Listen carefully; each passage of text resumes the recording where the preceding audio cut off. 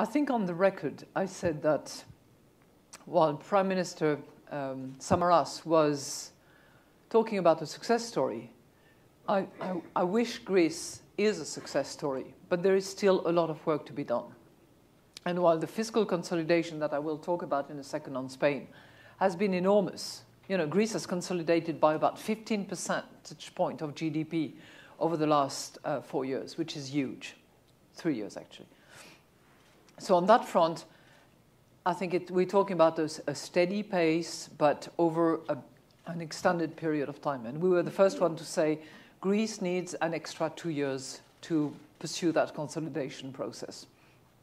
Added to which, the revenue collection and the tax collection in particular is absolutely critical for that program in Greece to be successful.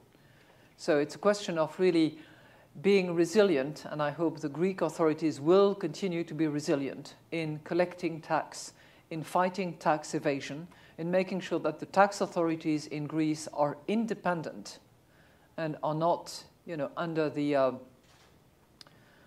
uh, under pressure of any sort. That that will be critically important.